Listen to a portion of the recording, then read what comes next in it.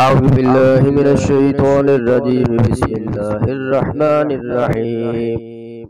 سلام قولا من رب رحيم. سلام على نوح في العالمين. سلام على إبراهيم. سلام على موسى وهارون. سلام على الياسين. سلام عليكم تبتم فادخلوها خالدين.